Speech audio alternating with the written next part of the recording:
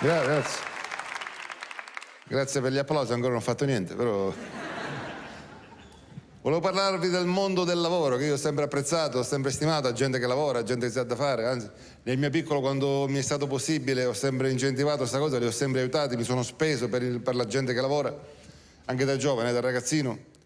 Andavo a rovistare una spazzatura, trovavo le scarpe vecchie, le portavo a riparare al calzolaio. Poi non le andavo a ritirare.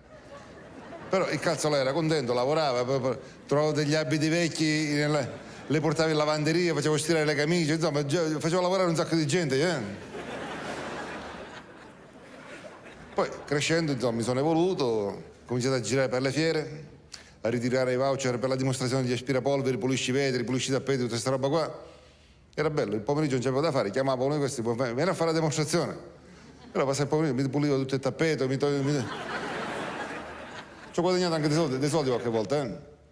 Andavo a casa dei amici, questo aspetto fa schifo, è sporco, sai, lo voglio lavare, non so come organizzarmi.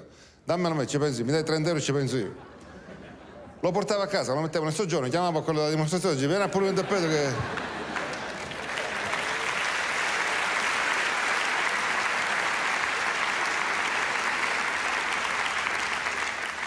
Poi ho avuto una casa mia, sono passato agli artigiani, adesso che vivo da solo, io con questo lavoro spesso il pomeriggio sono a casa, non ho da fare, ma annoio.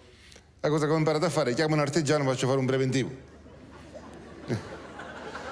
No, poi arriva questo, è bello, contento, dico dovrei cambiare gli infissi, posso venire domani alle tre e mezza, faccio un preventivo, perfetto, poi gli faccio il caffè, gli facciamo due chiacchiere, prende le misure di tutte le finestre, porta i cataloghi, possiamo fare in PVC, doppia vetrocamera, tripla vetrocamera, chiuso le vasi, stas, chiuso...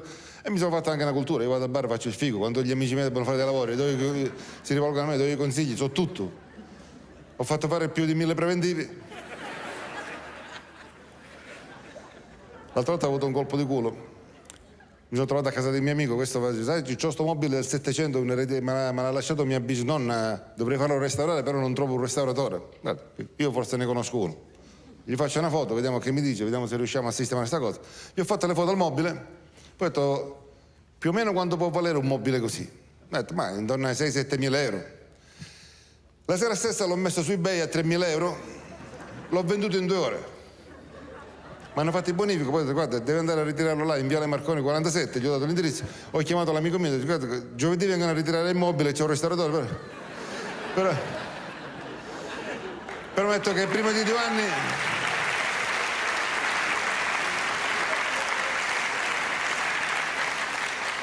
Prima di due anni di lavoro non se ne parla. No, cioè, io non ho fretta. L'importante è che mi fa il lavoro, ho fatto però, guarda, questo è un professionista, uno serio, eh.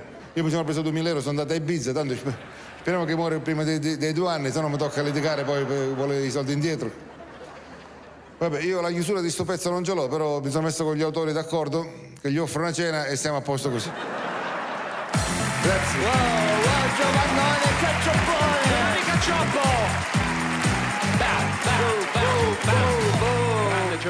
Roba ragazzi! Ti guardavo dietro dal monitor e avevi una bellissima camicia, te la invidio.